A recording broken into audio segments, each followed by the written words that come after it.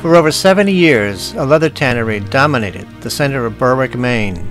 In 2008, the tannery closed, putting people out of work and leaving 11 acres of tired industrial buildings empty in the heart of town.